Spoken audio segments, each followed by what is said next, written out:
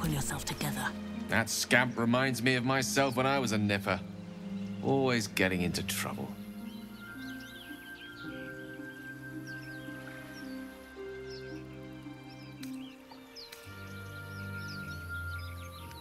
And worse. One time, my parents denied me a kitten, so I summoned myself a Tressym. Ugh, dear old Tara. Beautiful creature. Benefits of a wizard's education, you see. Of course, my considerable talent didn't hurt either.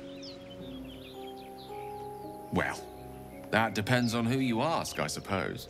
I may have summoned things rather more exotic than a winged cat.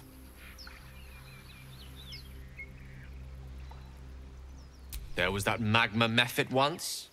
Nice fellow, we kept in touch. Of course, in walked the housekeeper, screaming, yelling, panic, and before you know it, fire everywhere. Anyway, I'm glad we got that boy out of his predicament. Poor lad would have been harpy feed if it wasn't for you.